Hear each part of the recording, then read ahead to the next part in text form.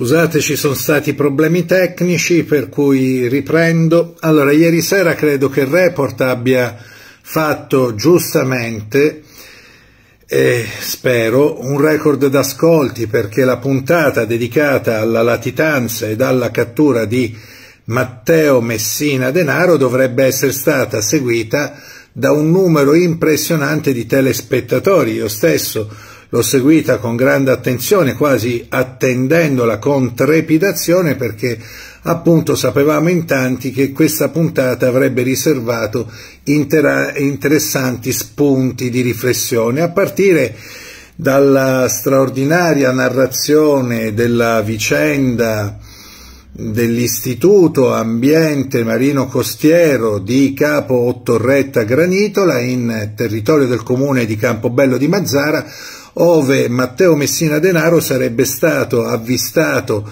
in passato e ove la denuncia di una eh, ricercatrice del CNR, fra l'altro nipote di Boris Giuliano, eh, l'uomo della Polizia di Stato barbaramente ucciso anni e anni fa, decenni fa, da Cosa Nostra, quando, se non ricordo male, era comandante della Digos palermitana, insomma, aveva messo gli investigatori sulle piste di Matteo Messina Denaro. Però eh, tutto, insomma, è stato più o meno raccontato, per ragioni di tempo, suppongo, non è stata eh, riportata la storia già narrata nel maggio del 2021 da Report, ma alla luce di quanto appreso ieri ancora più significativa, la storia di Carlo Pulici, di cui lo stesso Sigfrido Ranucci ha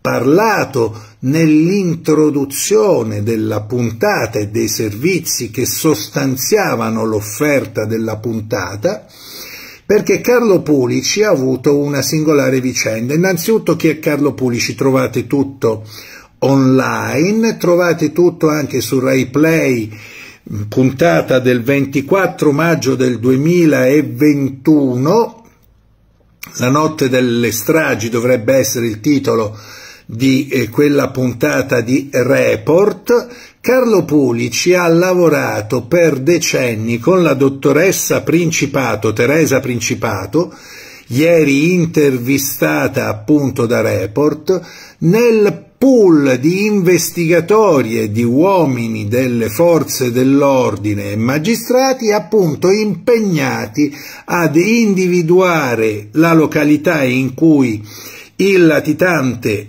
Matteo Messina Denaro si trovasse affinché potesse essere preso dallo Stato. Benissimo, Pulici ad un certo momento nel 2015 su richiesta dell'allora procuratore di Palermo, dottor Lovoi, che fu in qualche modo eh, diciamo così, rafforzato nella sua richiesta da parte dell'allora procuratore generale di Palermo, e cioè il dottor Scarpinato, Pulici fu allontanato dal pool che investigava sulla latitanza di Matteo Messina Denaro con accuse gravissime, fra cui quella per esempio di rivelazione di segreto d'ufficio e di accesso abusivo al sistema informatico che conservava appunto, come tutti i database, eh, le informazioni che venivano raccolte da magistrati e uomini delle forze di pubblica sicurezza per arrivare al latitante. Benissimo, Pulice è stato allontanato da quel pool, fu oggetto poi, se non ricordo male, di ben 35, 35 eh, ordini di trasferimento da un reparto all'altro della Guardia di Finanza, lascio voi, lascio a voi intendere che cosa possa significare per un uomo delle forze dell'ordine che ha lavorato per, eh, per 30 anni, per 25 anni, appunto per le fiamme gialle. Benissimo, Pulici ha affrontato sette procedimenti penali con 15 capi di imputazione gravissimi, rivelazione da, di segreti d'ufficio. Quasi fosse lui quello che suggeriva a Matteo Messina Denaro le prossime mosse degli investigatori al fine di evitarne la cattura. Quindi era un Giuda, questa era l'ipotesi che gravava sulla testa di Carlo Pulici. Benissimo, sette dibattimenti giudiziari, sette, 15 capi di imputazione, Pulici viene sempre assolto. Non vi dico della richiesta che lui ha fatto di poter vedersi rimborsate le spese legali, anche perché essendo stato assolto lui non ha commesso alcun reato. Non vi dico appunto di questo, ma vi dico, e trovate tutto su Instagram Report, perché queste sono informazioni che mi sono state riportate alla memoria appunto dalla, dall'account Instagram di Report, Pulici, terminata la sua odissea giudiziaria, vi chiedo di condividere questo video anche se vengo puntualmente osteggiato, rallentato, boicottato dai social e in particolar modo da Facebook, ma io mh, vi dico quello che so e quello che si può trovare, seppur con difficoltà, su fonti aperte e vi indico una strada da percorrere, poi naturalmente che questa strada sia gradita a tanti e soprattutto al potere è altro discorso, però è mio dovere farvi arrivare queste informazioni. Insomma, Pulici sporge denuncia perché al momento del suo allontanamento dal pool perché accusato e come lui anche la dottoressa Principato e il dottor Viola di accuse gravissime ed infamanti, accuse per cui avrebbe favorito la latitanza di Matteo Messina Denaro attraverso rivelazione di segreti d'ufficio e attraverso accesso abusivo a sistemi informatici, benissimo Pulici lascia un suo personal computer, così come carta canta, attestano atti ufficiali, nell'ufficio della dottoressa Principato, presso cui era in quota di polizia giudiziaria. E insieme al PC lascia anche alcune pendrive.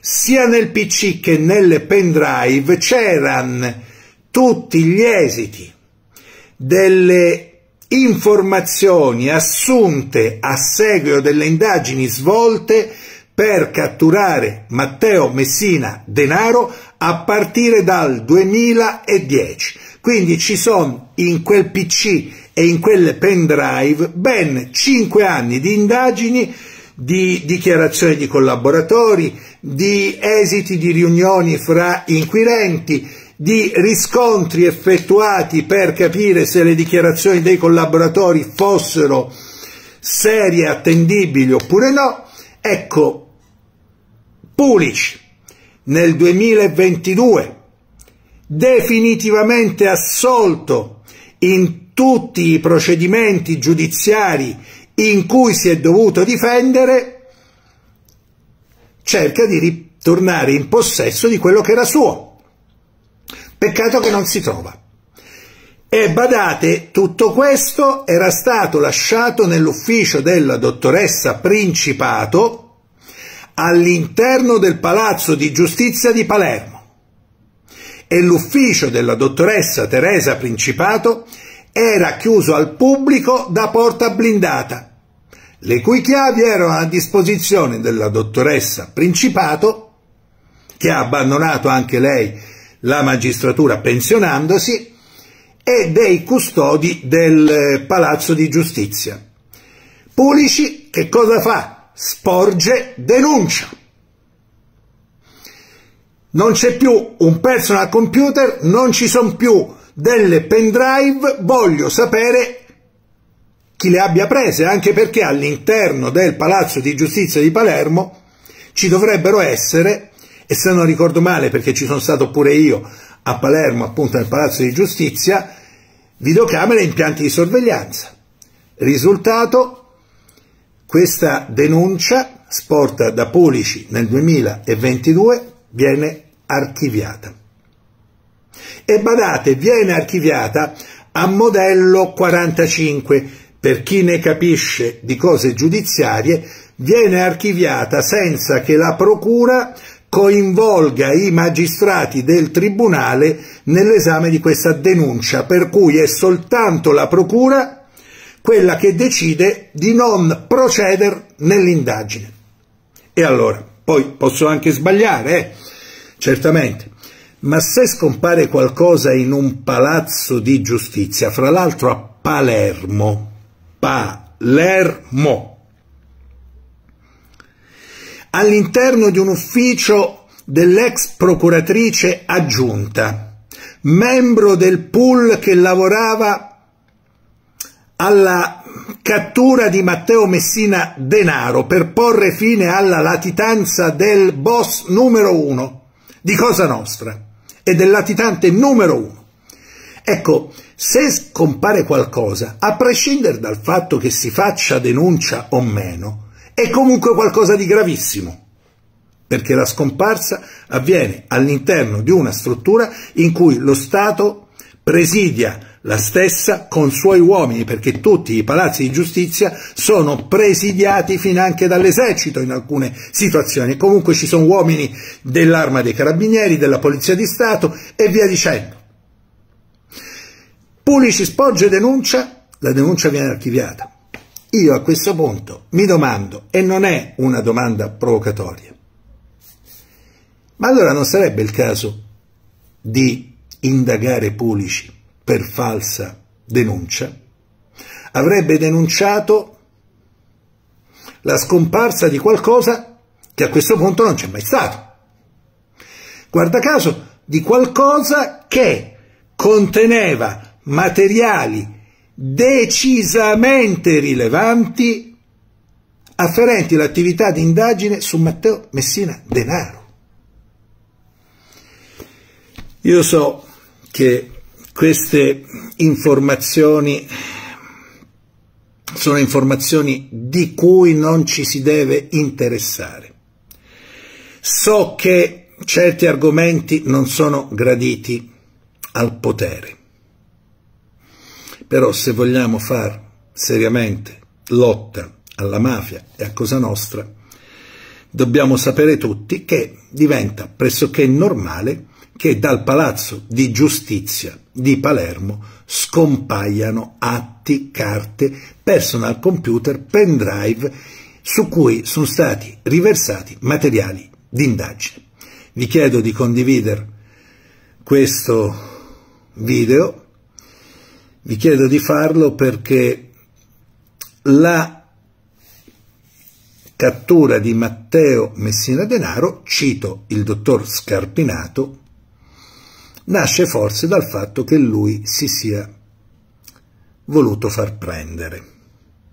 Abbia di conseguenza cessato tutte quelle pre precauzioni, tutte quelle cautele che in precedenza ne avevano sempre impedito l'individuazione e la cattura. C'è forse qualcos'altro di cui non dobbiamo sapere nulla e di cui probabilmente non sapremo nulla? Vi chiedo di nuovo di condividere questi spunti di riflessione e trovate l'intervista a Calogero detto Carlo Pulici, la trovate su Rai Play, Report, la trasmissione, la puntata è quella del 24 maggio del 2021. Vi ringrazio e vi chiedo scusa ma la lotta alle organizzazioni mafiose non può che essere condotta individuando quegli apparati dello Stato che hanno favorito le stesse organizzazioni mafiose. E purtroppo sono apparati molto forti, molto solidi e che godono tuttora di protezioni molto molto efficaci. Alla prossima!